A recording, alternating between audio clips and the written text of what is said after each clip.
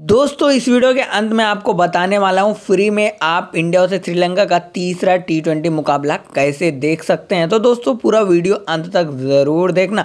वैसे दोस्तों, आपको बता दूँ, इंडिया से श्रीलंका के दूसरे और तीसरे टी ट्वेंटी मुकाबले से टोटल आठ खिलाड़ी बाहर हो चुके हैं, जिनमें हार्दिक पांड्या, पृथ्वी शाह सूर्य कुमार यादव, ईशान किशन, मनीष पांडे समेत टोटल आठ खिलाड़ी शामिल हैं।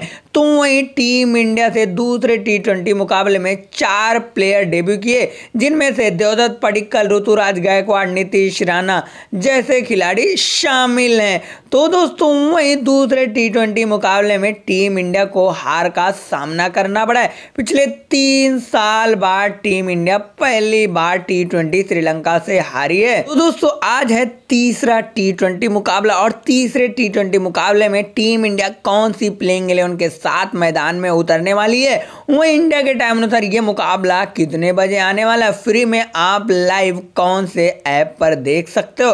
तो दोस्तों, पूरा वीडियो अंत तक ज़रूर देखना और अगर आप इस चैनल पर नए हो तो चैनल को सब्सक्राइब करके बेलाइकन दबा देना। वैसे तो दोस्तों, आप मुझे इंस्टाग्राम टेलीग्राम में फॉलो कर सकते हो। लिंक आपको डिस्क्रिप्शन में मिल जाएगी। तो आइए, चलो वीडियो स्टार्ट करते हैं। सबसे पहले बात करते हैं टीम इंडिया की प्लेइंग इलेवन तो ओपनिंग के तौर पर ऋतुराज गायकवाड़ और शिखर धवन ओपनिंग करते हुए दिखाई देने वाले हैं। वहीं तीन नंबर पर बैटिंग करने आएँगे। देवदत्त पडिक्कल चार नंबर की बात करें तो संजू सैमसन रहने वाले वहीं पाँचवें नंबर पर जो खिलाड़ी रहने वाले हैं, नीतीश राणा, ये पाँच बैट्समैन है। बाकी के छह जो बॉलर रहने वाले हैं। छठे नंबर पर भुवनेश्वर कुमार, वहीं सातवें नंबर की बात करें तो नवदीप सैनी रहने वाले हैं। आठवें नंबर की बात करें तो आठवें नंबर पर कुलदीप यादव रहने वाले हैं। वहीं नौवें नंबर पर वरुण चक्रवर्ती रहने वाले हैं। दस नंबर की बात करें तो राहुल चहर रहने वाले हैं। वहीं ग्यारहवें नंबर पर चेतन सकरिया रहने वाले हैं। यानी कि टोटल पाँच बैट्समैन और छः बॉलर के साथ टीम इंडिया मैदान में उतरने वाली है। क्योंकि टीम इंडिया के पास और कोई ऑप्शन नहीं है।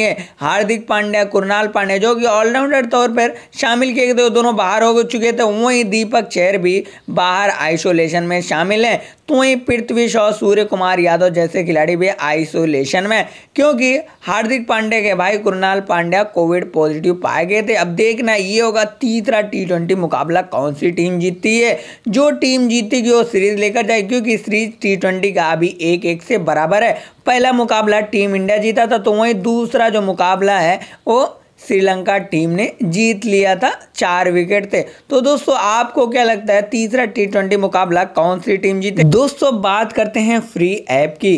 तो फ्री ऐप, जैसे कि आप डिस्प्ले पे देख पा रहे होंगे, ये दो ऐप है, इसको आपको जाके गूगल से डाउनलोड करना है। अगर डाउनलोड करने में कुछ भी प्रॉब्लम आती है तो आप मुझे इंस्टाग्राम पे फॉलो करके डायरेक्ट मैसेज कर सकते हैं। मैं आपको लिंक प्रोवाइड कर दूँगा, नहीं तो आप मेरे टेलीग्राम चैनल पर जाके लिंक से डाउनलोड कर लीजिए। तो दोस्तों, इस वीडियो बस इतना अगर आपको वीडियो पसंद आए तो वीडियो को लाइक कर देना। Thank you so much guys for watching